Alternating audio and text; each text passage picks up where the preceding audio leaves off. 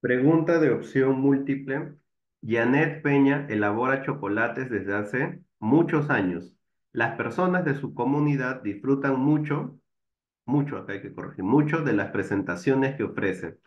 Las ventas van muy bien. Ha pensado en comenzar a elaborar galletas para ampliar los productos que ofrece. Estaríamos en presencia del axioma. Ah, bueno, aquí cuando nos hablan del axioma se refiere a los, a los 10 axiomas de las finanzas. Vamos a ver en presencia de qué axioma estaríamos.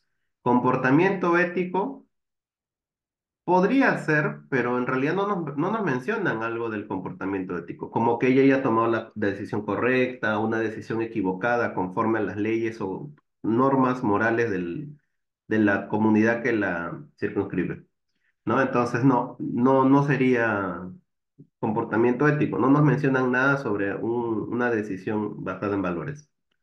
Flujo de tesorería incrementales. Mm, pero no nos mencionan los flujos ni los beneficios contables, ¿no? Porque usualmente se suele mencionar que en la finanza, bueno, es un axioma en realidad, pues, ¿no? Que en las finanzas lo que manda son los flujos, más no el beneficio contable, ¿no? Manda la tesorería y no el beneficio contable. Pero no nos han mencionado ni la tesorería ni el beneficio contable, entonces no podría ser.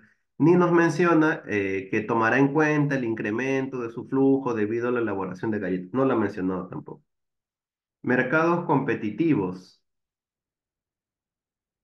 A ver, nos dicen, desde, a ver, Janet Peña elabora chocolates desde hace muchos años. Ya, las personas de su comunidad disfrutan mucho de las presentaciones que ofrece. Las ventas van muy bien. Pero eso no sería mercado competitivo, ¿no? Porque al contrario, en un mercado competitivo no tendrían que ir tan bien las ventas en realidad, porque al ser muy competitivo ya debería desde hace muchos años tener competencia y tener ya un beneficio normal. Ha pensado en comenzar a elaborar galletas para ampliar los productos que ofrece.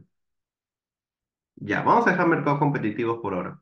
¿Todos los axiomas anteriores están presentes? No, porque el comportamiento ético definitivamente no está, debido a que no, no nos mencionan en ningún momento un comportamiento que esté conforme a normas y leyes. Entonces, no puede ser esta.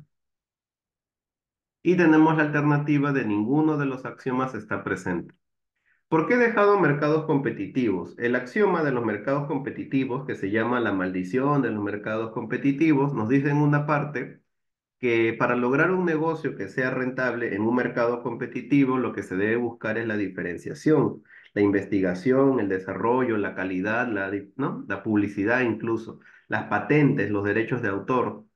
Pero en este caso, eh, ella está ampliando, ¿no? Va a ampliar su cantidad de productos y justamente podría ser para qué? Para diferenciarse, ¿no? Quizás hay muchas otras personas que venden sus chocolates, pero quizás ella ahora al vender chocolates y galletas tenga un diferencial y ya pueda vender incluso chocolates con galleta o, o galleta con pedacito de chocolate, no lo sé. Entonces ya podría haber allí un tema de diferenciación. ¿no? Entonces, solo por eso, sí, solo por eso lo voy a dejar. ¿Por qué? Porque en los mercados competitivos, pero ahí estoy haciendo un análisis fuera del texto ya, en los mercados competitivos directamente nos mencionan que eh, es difícil obtener beneficios extraordinarios porque son competitivos, entonces la única manera sería diferenciándose de una u otra, de una u otra forma. Y aquí la diferenciación la estaría obteniendo mediante la ampliación de sus líneas de productos. No, y quizás lo está haciendo. Porque nota que ya están surgiendo nuevos competidores. Entonces, basados en toda esa explicación, estaría en duda entre la, la tercera y la última, pero tomando en cuenta eso, que, que está ampliando los productos aparentemente para seguir siendo competitivo en el mercado, sería la tercera. Espero que esta pregunta y su solución se haya entendido. Nos vemos en una próxima oportunidad. Chao.